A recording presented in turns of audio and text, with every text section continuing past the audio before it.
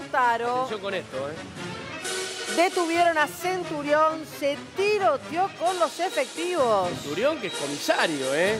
Un caso que nunca deja de reaparecer, eh, Frasca, y en este Sí. caso con este, a ver, Bueno. ¿intento o fue detención Pero final? para, esto de película, Vamos, vamos- Horacio. vamos a poner en Sí. contexto. Comisario Mayor Centurión, Claro. padre de Centurión, que está, Que está preso, preso. Y Maximiliano Centurión, su sobrino, por el homicidio de. Lautaro. y por la desaparición de Lucas. Ahí está. La investigación, hay varios detenidos. Está el hijo, está el sobrino y está eh, un, comisario Un comisario. que está detenido porque el resto, el de la DDI, ya fue liberado. Ahora, el tema es que habían ordenado hoy la detención del comisario Centurión ¿Por qué? Por el que está relacionado con la desaparición y la muerte de Lautaro. Ahora, fueron a detenerlo, está investigando, recordemos que hubo cambio de fiscal, la fiscal era don Giovanni, ahora ya cambió de fiscalía, el tema es que también cambió la investigación. Se encarga, se encarga la federal. La Policía Federal, Sí. la División Homicidios de Policía Federal, realizan obviamente un cerco en la casa Lo para a poder a detenerlo. casa, sí. Fueron a detenerlo a la casa. Cuando ve los movimientos, Centurión sale corriendo.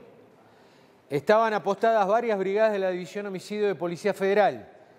Él corre y amaga sacar un arma. No me digas. Ahí es cuando un personal femenino de la Mirá. División Homicidios le efectúa un disparo Ajá. que le pega en el tobillo. Mirá. Ah, le tiran un tiro a la pierna. Exactamente. Y cae. Para ahí visual, es detenido, ahí fueron, llamaron eh, eh, urgente el tema del SAME, no corre riesgo de vida, está herido, está todavía en el lugar. Hay una capilla, vos, eh, si vos te pones en posición donde vivía eh, o donde vive Centurión, Sí. era un descampado. Sí, sí, Acordate que lo allanaron varias veces Sí.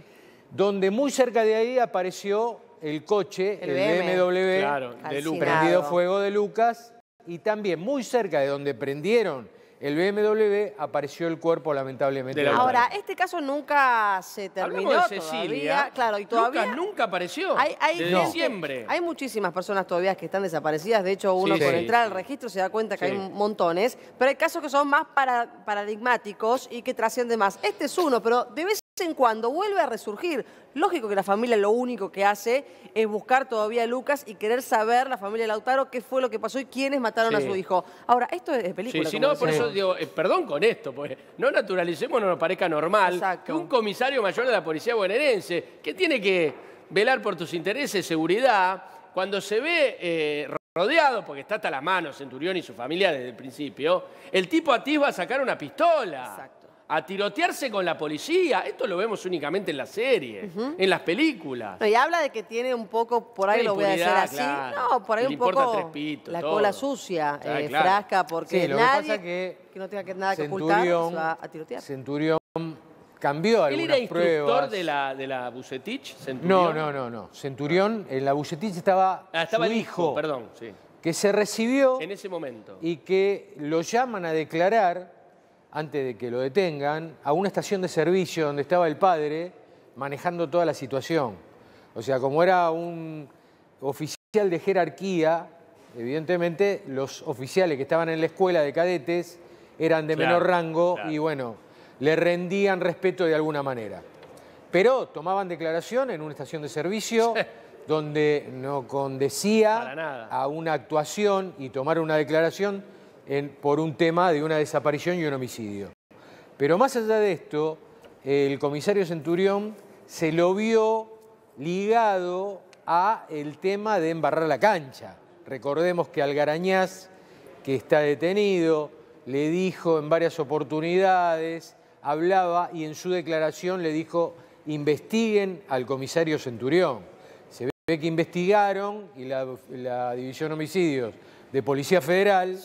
Llegó a un punto donde realmente está comprometido Ahora- Centurión, si no, no hubieran avalado la detención. Perdón, Frasca, eh, el hijo y el sobrino siguen de- detenidos. Sí, sí, están Ah, detenidos. Son están los únicos por el por- momento. No, no, no. No. ¿Quién más? Sí. En un principio estuvo involucrado el jefe de la DDI, De Quilmes, ¿no? que, de la DDI Quilmes, que fue liberado. Ah, ahí está, ese era el que me confundí. y Argañarás, que está detenido actualmente. Perfecto. Sí, yo digo, eh, estos son los comisarios. Que era el interventor de la comisaría cuarta. Claro, el interventor. ¿Se acuerdan que era raro el caso? Eh, estos son los, los comisarios que supuestamente te cuidan. Estos son los comisarios que liberan zonas, que matan gente. Lo tengo que decir así. Ojo con esto porque te acordás que el, jefe de policía, y lo, hablamos acá con Carlos Diez, que es el, el abogado Sí. de la familia Lautaro, el jefe de policía fue eh, tibiamente a ponerse a disposición. También había algunas dudas eh, con relación a cómo fue la cadena de mando, que el otro día Sí. lo vimos en el caso de Lucas González. En la policía de la ciudad, el desastre que hicieron. No nos Sí, olvidemos- Cómo se van tapando la cola entre ellos. Claro, pero no nos olvidemos que el jefe de policía va a ser investigado por Bueno, este tema. ¿eh? Bueno, y no nos olvidemos tampoco que, eh, insisto, por ahí hay más casos de los que uno- de los que trascienden y que este fue en medio del mundial, ¿eh? El Porque 9 de diciembre, Claro. después del partido como- con Holanda o Países Bajos, ¿Cómo va a pasar, viste? Claro. No, no pasó porque un chico apareció calcinado, el cuerpo de Lautaro, un pibe de 10, Que no tenía nada que ver con familia nada, vino acá, sí. nos contó de pe a pa lo que hacía, lo que estudiaba, cómo laburaba y que evidentemente estuvo en el lugar eh, indica- Equivocado. equivocado, claro, en el momento equivocado también y terminó de esta forma. Ahora, de Lucas todavía no se sabe nada. de Lucas que se dijeron montones de cosas, de su padre, de esta de este auto que tenía, los bidones, los vales de nafta. Sí. Eh, Sí, pero ojo porque hay un abogado Sí, que ha venido acá un par de veces. Fernández. No, no, no voy a decir el nombre. No es Fernández. No, no, no, no, no. Hay un abogado que eh, es, este abogado defendió en algún momento a alguno de los policías que están involucrados con el de embarrar la cancha. Sí. Eh, vino y me dijo, ojo, porque estoy comunicado con la Policía Federal de Paraguay Ajá. y es muy probable que viaje en algún momento, esto me lo dijo hace varias semanas, Sí. a Paraguay, porque aparentemente tendrían pruebas fotográficas de que vieron a Lucas en Paraguay. Epa, para, para, para, para. Si, hace, si pasa Sí. esto, voy a viajar urgente para, obviamente, a, este, involucrarse en el tema, ¿no? Perfecto. Vamos a estar atentos sobre todo con eh, este caso y con los detalles y novedades, pero ahora nos vamos con este otro tema.